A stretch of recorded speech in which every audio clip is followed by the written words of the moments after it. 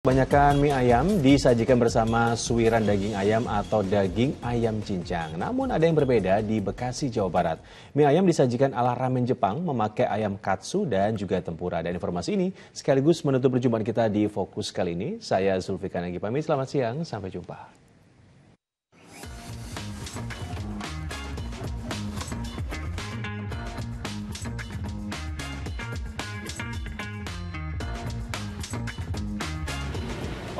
Ngomongin soal mie ayam ini nggak ada habisnya ya. Makin banyak aja inovasi olahan mie ayam. Seperti hari ini juga saya mau nyobain mie ayam yang dipadukan dengan katsu dan tempura khas Jepang. Wah ini kira-kira enak ya ya. Yuk langsung kita cobain. Nah, ini dia warung mie ayam di Rawalumbu, Bekasi, Jawa Barat yang menyajikan mie ayam pakai topping ayam katsu atau udang tempura.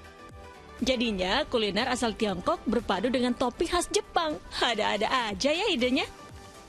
Sebenarnya kita mau mencari yang beda aja sih, kayak apa nih targetnya? Oh mungkin kita buat target yang buat anak-anak muda nih. Kalau mie ayam kan emang nah, semua umur ya, semua umur biasanya tuh yang cuman bakso, pangsit dan lain-lain. Kita ya udahlah coba oh ngelihat katsu kayaknya masuk nih di mie ayam gitu. Kita coba-coba tes tes rasa oh masuk nih kira-kira gitu. Sebelum disajikan, ayam katsu dari dada ayam file atau tanpa tulang diselimuti tepung roti lalu digoreng sampai garing. Prosesnya sama untuk membuat udang tempura. Nah, untuk membuat mie ayam yamin, mie kuning keriting direbus sebentar di kuah panas, lalu dicampur dengan kecap asin, kecap manis, bawang putih bubuk, dan bumbu cabai spesial. Mie yamin lalu dihiasi sawi hijau, pangsit goreng, daun bawang, daging ayam cincang, dan tentu saja tak ketinggalan ayam katsu.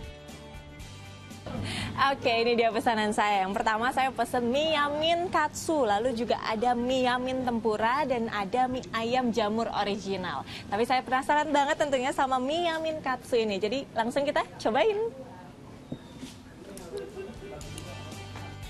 Selamat makan!